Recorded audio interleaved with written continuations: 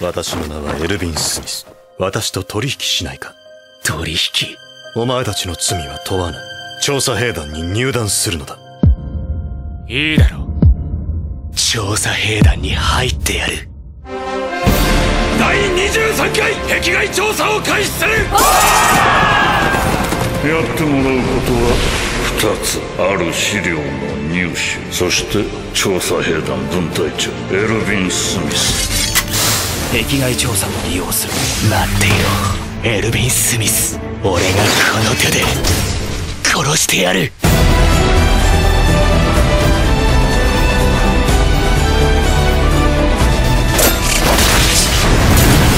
頼むぜ兄貴。地上の居住権。取ってきてくれよな。リヴァイ俺たちを信じてくれ。後悔の記憶は次の決断を鈍らせるそうなればあとは死ぬだけだ